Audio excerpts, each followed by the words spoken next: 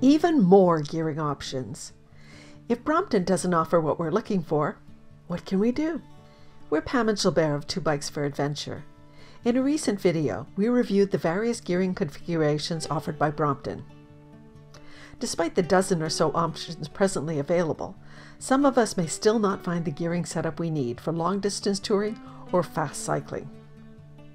In this video, we'll review some third-party solutions to improve your Brompton drivetrain. We'll use the C-Line Explorer 6-speed with a 44-teeth chainring as a baseline, but most upgrades are applicable to other configurations as well. Brompton's 6-speed cassette consists of two sprockets, 13 and 16 teeth.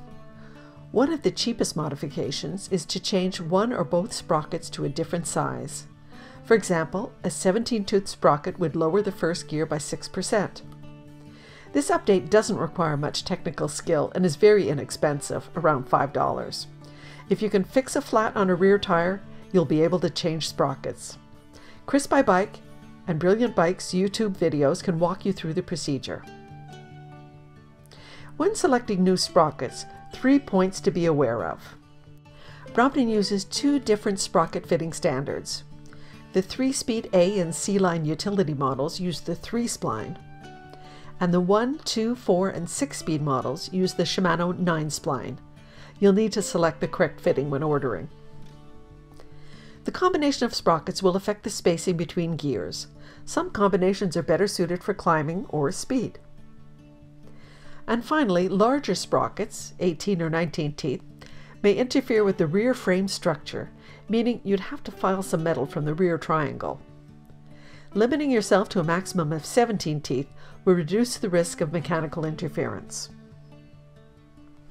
It's also possible to add a third sprocket to convert a 6-speed Brompton to a 9-speed. While not particularly expensive, about $100 in parts, it requires some DIY effort. Berlinonaut has an interesting article on the subject. There's a link in our description. Another simple solution is to replace the chainring. Besides the 44T, 50T, and 54T provided by Brompton, third-party providers offer a variety of options. Since 2013, Brompton has been using a standard 130mm bolt circle diameter removable chainring known as 130 BCD.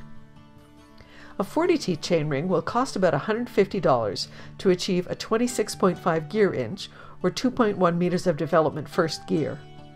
This online video from Brilliant Bikes explains how to replace a chainring. For a wider gear range, the most cost-effective solution is to install a dual chainring. Various combinations are available such as 33T 50T and 33T 54T. Most users do not install a front derailleur, instead opting to manually change the chain line depending on riding conditions. With some practice, you can learn to use your right heel to move the chain from the big to small chainring. Brompton Family Channel has a good video on the installation of a dual chainring. Finally, if cost is not an issue, you can simulate a dual chainring by installing a Schlumpf speed drive. This push-button controlled dual gear system fits in the Brompton bottom brackets and provides a 1.65 ratio increase for a total gear range of almost 500%. The trade-offs are the expense, about $700, and the 700 gram weight increase. We've covered a few of the third-party options available to improve your Brompton gearing configuration. From the replacement of a $5 sprocket to the installation of a $700 planetary gear bottom bracket, there's likely one that will fit your need and budget.